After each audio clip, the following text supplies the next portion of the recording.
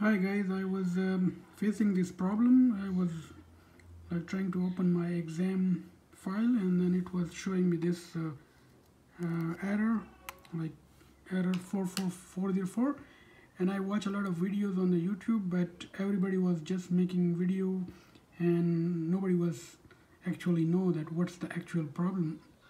So uh, I did my research by myself and I was I spent like almost six seven hour to find out what's what's the fucking problem is. So what I did I came here and opened my uh, manage service.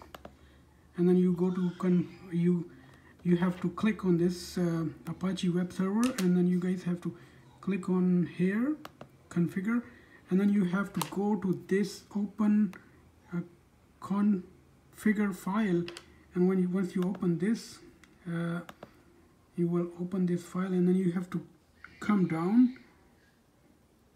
And then when you come down so you guys have to change the value here like listen uh, here was like 80 so I put 80 80 and then listen 80 80 here. And then I just close this file here. And you can put the 80 80 here right here too so when you do like okay here then it's and then it you have to restart this Apache server then you have to restart and then when it's restart then you go back to your uh, main page. And then you have to put here uh, localhost and colon 8080 and you not you you are not supposed to put this uh, you're not supposed to put this uh, dashboard. You just have to like put the remove the dashboard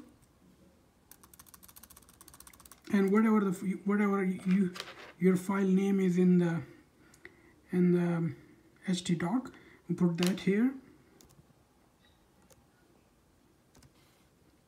And it will open and that's it. So this i hope this will work for you. If you like my video please subscribe my channel and like my video. Thank you